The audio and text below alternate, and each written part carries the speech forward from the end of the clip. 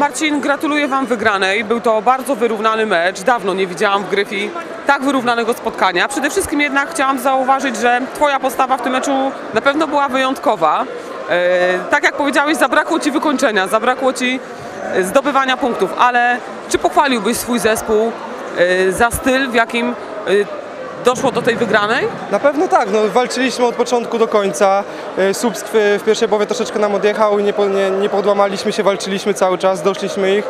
A później już jak Państwo widzieli całą drugą połowę wynik oscylował ku remisu, to my wygrywaliśmy to Subsk. Także brawa dla całej mojej drużyny, bo wszyscy dali z siebie wszystko i najważniejsze, że w końcu zaczęliśmy wygrywać.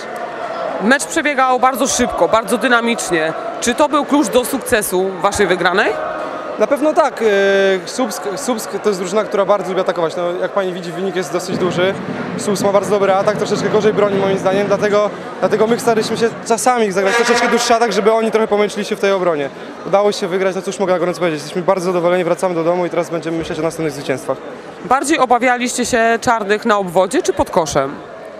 Hu, tak jak już powiedziałem, czarni naprawdę w ataku mają bardzo dobry, do, bardzo dobry zespół i pod koszem to jest zespół zbilansowany, kompletny, moim zdaniem kompletny zespół.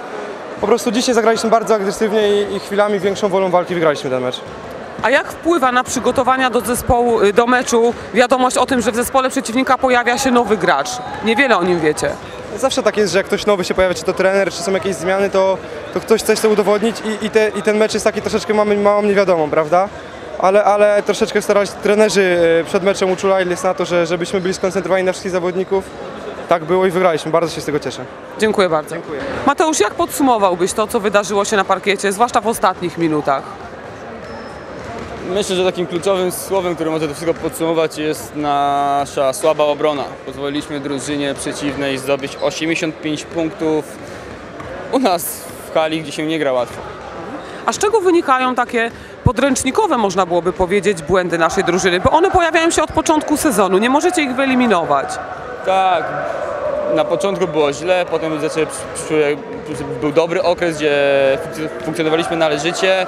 Potem znowu zapaliśmy jakieś kontuzje, choroby, znowu byliśmy jakby rozdarci, trenowaliśmy po kilku zawodników tylko. Czyli brakuje zgrania? Brakuje. Mo, mo, mo, można to tak ująć, lecz w ataku no 81 punktów to też nie jest mało. Myślę, że bardziej zgranie chodzi o, o obronę. I myślę, że nad tym musimy w kolejnych dniach najbardziej zwrócić uwagę i to poprawić. A jak w krótkim czasie poprawić obronę? Na pewno zwrócić uwagę na małe detale, które zawodzą i to już nie, nie od dzisiaj, nie od wczoraj, lecz już od, od kilku tygodni.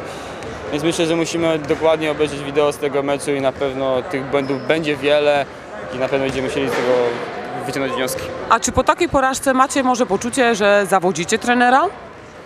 Tak, na pewno każda porażka to jest to, to jest to, my myśmy zawi- za- zawiedzeni, że przegraliśmy, jesteśmy drużyną całą, zawiedliśmy kibiców na pewno, za- zawiedliśmy samego siebie. Pytam dlatego, bo widzę, że trener y, bardzo dobrze rozpracował przeciwnika i świetnie was do tego meczu przygotował taktycznie. Tak, byliśmy przygotowani, tak jak mówię, ofens, atak był na- należycie przygotowany, lecz ta obrona, ta obrona szwankowała i te najmniejsze detale nie pozwoliły nam wygrać tego meczu. Ale mam nadzieję, że takie porażki tylko wzmacniają zespół. Dziękuję bardzo. Mam nadzieję, że też. Dziękuję bardzo.